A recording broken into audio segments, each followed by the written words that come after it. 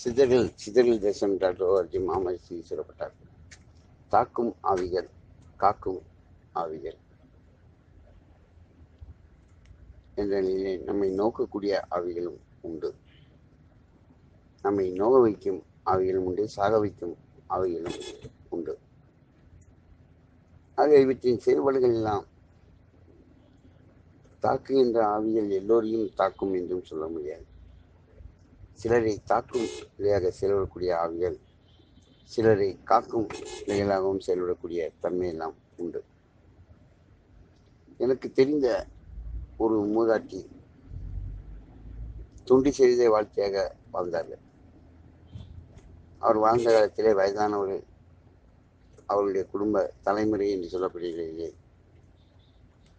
வயதானவர்கள் எல்லாருமே தொடர்ந்து வயதானவர்களுக்கு தொண்டு செய்யக்கூடியதான் அவருடைய வாழ்க்கை இருந்தது. ஆனாலும் கூட அவர்களுக்கு வயதான பொழுது அவர்கள் தான் வசித்த அரண்மனை போன்ற வீட்டை வசிக்க முடியாத சூழ்நிலையெல்லாம் அவரது பிள்ளைகளால் ஏற்பட்டது என்பதெல்லாம் துர்பாக்கியமான நிலைகள். ஆக குழந்தைகள் என்பவர்கள் தாயும் தந்தையிடம் சொத்து இருந்துவிட்டால் அதன் நிலைகளின் வழியிலே அந்த தாயையும் அந்த குழந்தைகளையும் பிரிக்கின்ற தன்மையாக கூட சில குறி சொல்லுபவர்கள் விளையாடுகின்ற நிலையிலும் இருக்கிறது. குறி சொல்லக்கூடிய பலரின் நோக்கங்கள் நான் அறிந்தவரை சிலரை தவிர அனைவரையும் நான் குற்றம் சொல்ல மாட்டேன். அவர்கள் அனைவருமே நடந்த பிரச்சனைகளை தெரிந்து கொள்ள முடியும். கடந்த காலத்தை கூற முடியும். நிகழ்காலத்தில் அவற்றுக்கான பரிகாரங்களை செயல்படுத்தி எதிர்காலத்திற்குள் வளமையாக அவர்களை செலுத்துகின்ற தன்மை எந்த குறி சொல்வர்களுக்கும் நான் அறிந்தவரை பலரிடம் இல்லை என்பதுதான் அனுபவ ரீதியான உண்மை. நாடி ஜோதிடம் என்பது வேறு. அதிலும் குறிப்பிடங்களும் உண்டு குறுப்பிடங்களும் உண்டு. ஆக நாம் ஜோதிடம் என்பதை ஜோதிடமாகட்டும் பிரசனம் பார்க்கின்ற நிலைகள் ஆகட்டும். தெய்வீக பக்தி நிலைகள் ஆகட்டும். ஒரு விநாயகரை வணங்குகிறோம். ஆனால் விநாயகர் புராணத்தை நாம் படிப்பது கிடையாது. கந்தன் என்ற முருகனை வணங்குகிறோம். கந்த புராணத்தை படிப்பது கிடையாது. இந்துவாக இருப்பவர்கள் வீட்டிலே பகவத்கீதை ஆயிரம் வீடுகளுக்கு ஒரு வீட்டில் இருந்தால் மிகப்பெரிய விஷயம். அவ்வாறு இருக்கின்ற வீடுகளிலே நூறு வீடுகளிலே ஒரு சிலராவது அந்த பகவத்கீதையில் உள்ள நிலைகளின் தன்மையை எவ்வாறு விளக்கி இருக்கிறார்கள்? அந்த நிலையின் தன்மை நமக்குள்ளே எவ்வாறு இருக்கிறது என்ற கீதை காட்டும் பாதையை தங்களுக்குள்ளே வேதமாக எடுத்துக்கொள்வர்கள் இருப்பவர்களாகவும் தெரியவில்லை. அதே போல்தான் இந்த குறிபீடம் குறிபீடம் என்று சொல்லக்கூடிய நிலையிலே மிக எச்சரிக்கையாக அணுக வேண்டிய நிலை இருக்கிறது. ஒரு குறிப்பிடத்திற்கு சென்று விட்டால் அதிலே மிக பெரிய அளவிலே பாதிக்கப்பட்டவர்கள் சோதிக்கப்பட்டவர்களெல்லாம் கூட இருப்பதையெல்லாம் அறிந்திருக்கிறோம். அது ஒரு ஆவேச நிலையாக இருக்கின்ற குறிப்பிடமாக இருந்து விட்டால் நிச்சயமாக அது நமக்கான சந்தோஷங்கள் கிடைக்காது. ஆனாலும் கூட பல கிராமங்களிலே இரவிலே இந்த உடுக்கையை வைத்துக்கொண்டு குடி சொல்பவர்கள் எல்லாம் உண்டு. அவர்கள் சொல்லுகின்ற குறி நமக்கு நன்மையாக இருக்கிறதோ இல்லையோ? அந்த உடுக்கை என்று சொல்லக்கூடிய சப்தம் நமது காதுகளிலே நுழைந்து செவிப்பறைகளிலே நுழைந்து கண்ணுக்கு மூக்கடியோ காதாரம் மத்தி மத்தியில் என்று சொல்லக்கூடிய இடத்திலே டம் டம் டம் டம் பம் பம் பம் பம் என்றெல்லாம் அதிர்வுகளை ஏற்படுத்தி நம்முடைய தீயவணிகள் எல்லாம் தீயவணிகளாக மாற்றக்கூடிய சொல் அவற்றுக்கெல்லாம் உண்டு. ஆக ஒரு குறி சொல்லக்கூடிய பல நிலைகள் எல்லாம் இருக்கின்றன.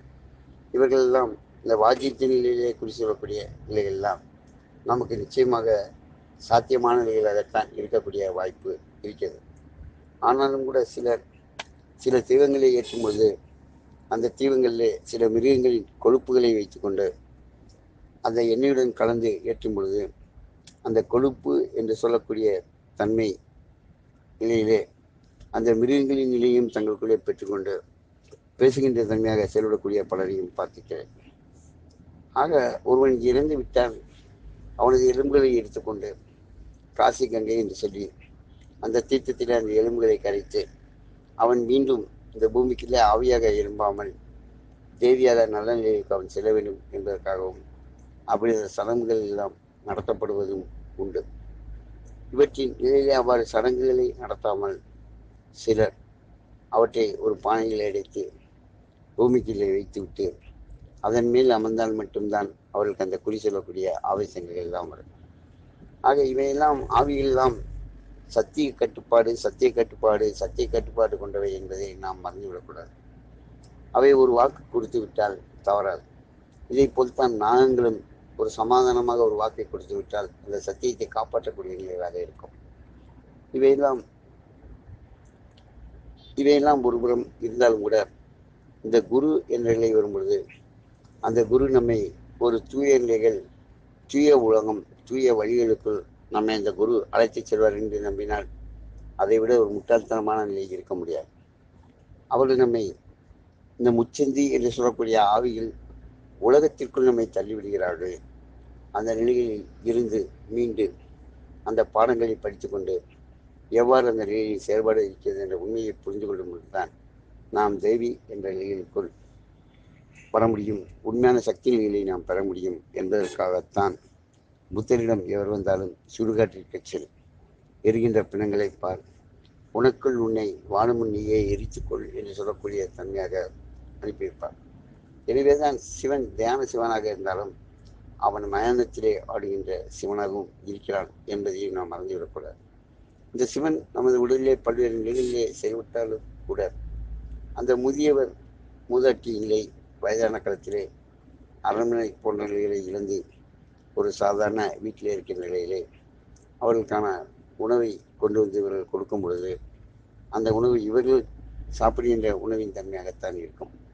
ஆனால் ஒரு வயதானவர்களால் அந்த காய்கறியை கடித்து உண்ண முடியாது. அந்த சோறை பல்லில் பல் சரியான அந்த உணவை கரைக்கின்ற சக்தி இல்லாத காரணத்தால் அந்த சாப்பாட்டை அவர்கள் மிக்சியிலே அடித்து காய்கறிகளை மீண்டும் தண்ணீரிலே ஊற வைத்து ஒரு குழந்தைக்கு கொடுப்பதை போல் வேக வைத்து அதை பசையாக்கித்தான் குழந்தைகளுக்கு கொடுக்கிறோம். அந்த தன்மை உணர்வு அற்றலில் தான் அந்த உணவுகள் அவருக்கு வழங்கப்பட்டது. ஆக அந்த சாப்பிடுகின்ற நேரத்தில் அந்த உணவு வந்தாலும் கூட அவர் அதை பட்டினியாக இருந்துவிட்டு அவர்கள் சென்ற பின்பு மிக்சியில் அடித்தும் தண்ணீரில் அந்த காய்கறிகளை ஊற வைத்தும் சாப்பிடுவதை எல்லாம் நான் கண்டிக்கிறேன் ஆக அவர்கள் வேதனையுடன் புலம்புகின்ற அந்த தன்மை வரும்பொழுது அந்த ஆத்மா நான் சரியாக கூட சாப்பிடக்கூட வாய்ப்பில்லாத போய்விட்டதே என்ற ஏக்கத்துடன் இறக்கும் பொழுது அவருக்கு யாரெல்லாம் காரணமாக இருந்தார்களோ அவர்களின் நிலையில் சென்று அவர்களை தாக்குகின்ற தன்மையாக எப்பொழுதெல்லாம் அவருடைய இரத்த தொடர்புள்ளவர்கள் சித்த தொடர்புள்ளவர்கள் என்ற நிலையிலே செல்வடைய நிலையாக அவர்கள் இறந்த பிறகு அவர்களுக்கு அந்த பசி என்ற ஏக்கம் வரும்பொழுது மட்டும் அவர்களை தாக்குகின்ற நிலையாக அந்த ஆவிகள் செயல்படும். அவர் அவரிடம் இந்த பசி என்ற உணர்வு அற்ற நிலையிலே அவர்களை காக்குகின்ற நிலையிலாகவும் இந்த தாக்குகின்ற ஆவிகள் செயல்படக்கூடிய தன்மையெல்லாம் உண்டு. அப்பொழுது யாராவது ஒருவர் தன் தாயின் இயற்கை நல்ல முறையிலே உணவிடுகின்றவர்களை சுற்றத்திலும் அக்கம் பக்கத்திலும் பார்த்துவிட்டால் அவர்கள் மீது சரியான பாசத்தையும் பந்தத்தையும் காட்டுகின்றதாக அவர்களை ஆசீர்வதிக்கின்றவர்களாக அவர்கள் வாழ்க்கையிலே வளம் பெறுவதற்கான நிலைகளை செய்யக்கூடிய தன்மையாகவும் நோக்குகின்ற தன்மையாக அந்த ஆவியிலும் மாறக்கூடிய தன்மைகள் எல்லாம் உண்டு. ஆக நிலைகள் ஒன்றுதான். அது செயல்படக்கூடிய அலைகள் கலைகள் வெவ்வேறாக இருக்கின்றன வெவ்வேறு விதமாக இருக்கின்றன என்பதை நாம் எண்ணி பார்க்கும் பொழுது இவற்றின் ஆக்கங்கள் தாக்கங்கள் எல்லாம் நம்முடைய உடல் அங்கங்கள் என்று சொல்லக்கூடிய தன்மையிலே கண் என்பது பார்வை விதியாக இருக்கிறது. பார்த்த சாரதியாக இருந்து நம்மை இயக்குகின்ற உடல் தேரை இயக்குகின்ற தன்மையாக இந்த கண் என்ற தன்மை இருக்கிறது. இந்த கண்ணின் தன்மையிலே செயல்படும்போது இது ஜீவாத்மலையாக பார்க்கின்ற பொருளின் சுவைகள் பார்க்கின்ற பொருள்களின் சக்திகள் இவற்றையெல்லாம் அந்த கண் ஏற்றுக்கொண்டு அது உமிழ்நீரிலே கசப்பாக உரைப்பாக பல்வேறு உணர்வின் சுவைகளாக அது மாற்றி அந்த உமிழ்நீரின் சுவை நம்முடைய இறைப்பைக்கும் சென்று அங்கே வருகின்ற உணவை அந்த கசப்பான இரத்தமாக அந்த எரிச்சல் உள்ள இரத்தமாக மாற்றும் பொழுது வாழ்க்கையில கசப்பான சம்பவங்கள் எரிச்சலான சம்பவங்களை பார்க்கின்றதாக இருக்கும். ஆக ஒரு கிரு ஒரு குரு சீடனை பார்க்கும் பொழுது ஒரு பொருளை பார்க்க வேண்டும் நோக்க வேண்டும். ஆனால் அந்த பொருள் என்னவென்று நீ தீர்மானிக்கக்கூடாது என்று சொல்வார்கள். ஒரு மரத்தை பார்த்தாலும் அது ஏகாந்த பார்வையாக வலதுகன் பார்வையாக பார்க்கும் பொழுது அந்த மரத்தின் தன்மையை தீர்மானிக்கின்ற தன்மை இல்லாமல் அந்த மரத்தின் சக்தியை கண்கள் ஊடுருவாத தன்மையாக செயல்படக்கூடிய தன்மை நமது வளருகனிற்கு உண்டு. எனவே தான் சில வேத நூல்களே உன்னுடைய வலது உனது வலது பாகத்தை நான் கனம் பண்ணுகிறேன் சக்தி பண்ணுகிறேன் என்றெல்லாம் சொல்லியிருப்பார்கள். இன்னும் இதை தெளிவாக சொல்வார்கள் இடம் மாறினால் இடம் மாறும் என்று சொல்வார்கள். ஆகவே இந்த இடப்பக்கம் என்று சொல்கின்ற நிலை பெண்பாகமாக இருக்கிறது. ஒன்றை ஈர்க்கின்ற தன்மையாகவும் இருக்கின்ற நிலை எல்லாம் இந்த இடப்பாகத்திற்கு உண்டு.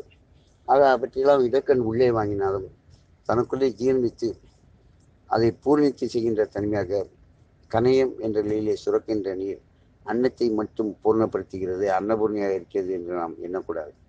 நாம் சாப்பிடுகின்ற தன் உணவை முழுமையாக ஜீர்ணித்து மலக்கழிவுகள் அற்றையாக ஜீரணிக்கக்கூடிய மிக மகா உறுப்பாக இந்த கணையம் இருக்கிறது. இதைத்தான் வில் என்ற நிலையிலே போட்டு அந்த கணை என்று அதை வில்லின் இந்த ஏவப்படுகின்ற அம்பை சொல்லியிருப்பார்கள்.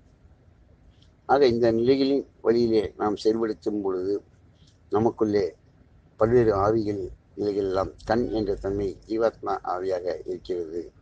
அதை காது என்ற தன்மையில மாற்றும் பொழுது இந்த காது பரமாத்மாவாக இருக்கிறது.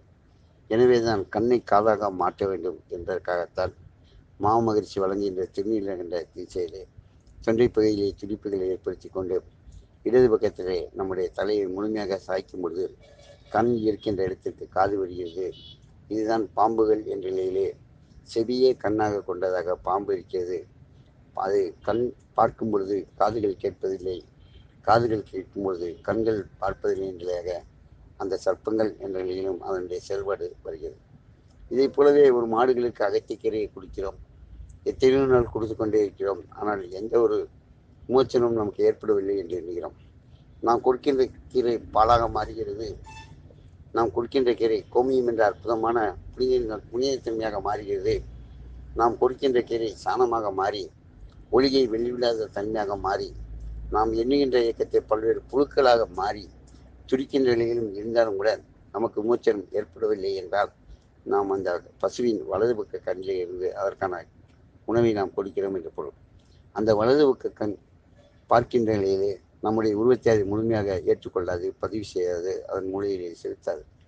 இதுதான் இயல்பானது. ஆக ஒரு பசுவிற்கு அல்லது ஒரு குரங்கிற்கு வாழைப்பழம் கொடுத்தாலும் சரி எந்த மிருகங்களுக்கு நாம் உணவிட்டாலும் சரி அதனுடைய இடக்கண் பார்வை வழியாக நம்முடைய எண்ணங்களின் சக்தி நம்முடைய உருவத்தின் சக்தி அதற்குள்ளே செல்லக்கூடியதாக இருக்கும்.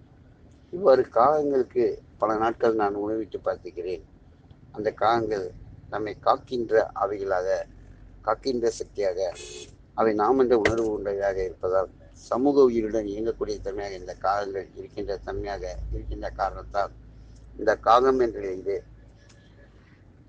காக்கின்ற சக்தியாக செயல்பட்டு வின் சென்றவன் காகபஜனன் ஆவான்.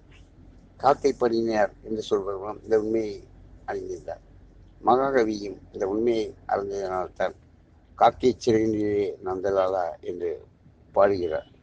ஆக இந்த காகம் என்று சொல்லக்கூடிய நாம் என்ற உணர்வு கொண்டது. இந்த காகங்களுக்கு உணவிட்டு பருவதற்கு தண்ணீர் வைக்கின்ற நிலையாக செயல்படும் பொழுது நம்முடைய உயிர் என்ற ஆயுள் பாக்கியத்தை காப்பதற்காக தன்னுடைய உயிரை கொடுக்கின்ற தன்மையாக கூட செயல்படக்கூடிய தன்மையெல்லாம் இந்த காகங்களுக்கு உண்டு என்ற தன்மையால்தான் அந்த ஈஸ்வரன் தன்மை அதில் இருக்கின்ற தன்மை சனீஸ்வரனாக அந்த ஈஸ்வரன் நிலை நம்மிடம் செயல்படும். இந்த சனியும் கூட பொங்குந்தன்மை மங்குந்தன்மை என்றெல்லாம் காட்டியிருப்பார்கள். அந்த இந்த வாழ்க்கை நிலையும் மங்குகின்ற காலம் மாங்காய் காய்க்கும் பொங்குகின்ற காலம் புலி காய்க்கும் என்று சொல்லியிருப்பார்கள். ஆக இந்த காலங்களுக்கு உணவிடும் பொழுது இந்த புளிய புலி காய்க்கும் என்று சொல்லக்கூடிய புலி சாதத்தை கொடும்புலி என்று சொல்வார்கள் மலையாளத்திலே. அப்படிப்பட்ட சாதத்தை காலங்களுக்கு வைக்கும்போது நம்மளுடைய வாழ்க்கை பொங்குகின்ற தன்மையாக மாறக்கூடிய தன்மையெல்லாம் இருக்கிறது என்பதெல்லாம் சிந்தித்தால் விஞ்ஞானத்தை சந்திக்கலாம். நன்றி நன்றி வணக்கம். வாழ்க வளமுடன் வளமுடன் வாழ்க. எப்பொருள் யார் யார் கேட்பதும் அப்பொருள் மெய்ப்பது காண்பது அறிவு. எமக்குள் வாழும் மாமகர்ஷி ஈஸ்வரப்பற்றை வணங்கி மகிழ்கிறேன். வேப்ப மரத்தின் நிலையிலே தன்னுடைய திருவிழிகளை அமைத்துக் கொண்டு இந்த உலகமெங்கும் பறந்து அனைவருக்கும் அருள் செய்கின்றவையாக செல்விடக்கூடிய ஸ்ரீ சாய் சமர்த்த அங்குல்கோட் மகாராஜாவின் திருவிடுகளில் வேப்பமரத்தின் நிலைகளை கண்டு வணங்கி வணங்கி மகிழ்ந்து நெகிழ்ந்து வணங்குகிறேன். நன்றி வணக்கம். வாழ்க வளமுடன் வளமுடன். வாழ்க வாழ்க வாழ்க. சிதறில் சிதறில் தேசம் டாக்டர் ஓ.